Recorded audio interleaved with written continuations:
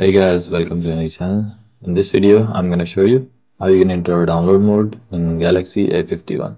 So guys, as you can see, our device is right now turned on. You just have to power off your device first to enter the recovery mode.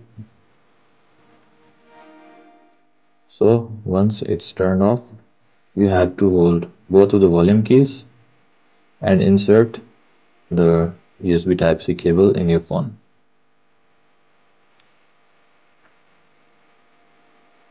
Holding both of the keys and insert the cable.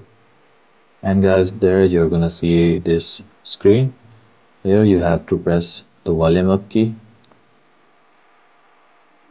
And that's it guys. As you can see, our phone is now in download mode. So guys, that's how you can enter in download mode on Galaxy A51. So that's all in this video. Make sure to sub the channel and leave a thumbs up. Bye for now.